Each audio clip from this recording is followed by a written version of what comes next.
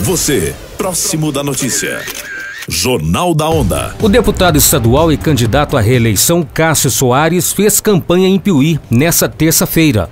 Ele participou de um encontro com lideranças regionais que apoiam sua candidatura. O ato foi realizado no PTC Social no início da noite. Antes, o candidato esteve na Rádio Ondoeste FM e ressaltou a importância de encontros com a população. Olha, meu caro Edgar, todos os ouvintes aí da Rádio Ondoeste, telespectadores que acompanham também pela internet, é, eu continuo vindo a Piuí. Né? A gente tem uma presença constante aqui ao longo de todo o mandato, dos dois mandatos que eu tive a satisfação de ser eleito e ser o representante de Piuí na Assembleia Legislativa de Minas Gerais.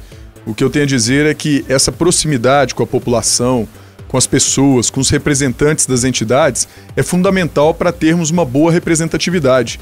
Né? Somente sabendo aquilo que o povo precisa que eu vou conseguir voltar para Belo Horizonte e representá-los bem, sabendo aquilo que eu preciso buscar, aquilo que eu preciso propor ao governador, buscar nas secretarias de Estado, seja na área da saúde, da educação, da infraestrutura.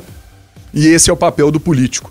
Né? Resgatar a confiança, a credibilidade da nossa classe através de ações e atitudes. O candidato disse que quer continuar a fazer um mandato participativo, planejado, de modo que as políticas públicas cheguem a todos. Eu tenho essa participação é, ativa durante todo o mandato.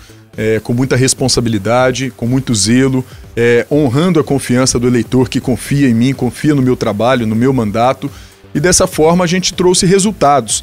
Nós fazemos um mandato planejado, né, participativo e com bons resultados. Piuí mesmo recebeu muitos e muitos investimentos através das nossas intercessões junto ao governo do estado, né? Durante o encontro, prefeitos, vereadores e apoiadores de várias cidades da região ressaltaram o trabalho feito pelo deputado. Também estiveram presentes vários dirigentes de entidades sociais de Piuí.